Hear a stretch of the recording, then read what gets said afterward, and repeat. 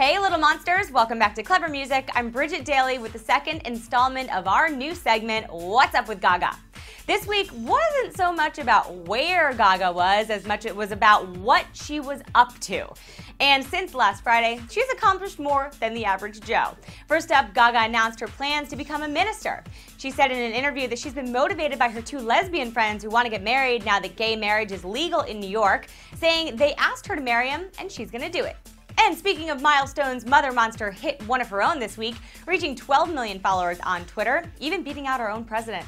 And Gaga used Twitter to announce that her next video would be coming via the social network platform, saying the music video for You and I will be my 1000th tweet. But guys, Twitter may be so yesterday pretty soon as Gaga has been named one of the investors of Turntable.fm, a social network that revolves around listening to music with other people, giving thumbs up to tracks you like, and earning DJ points. Pretty cool.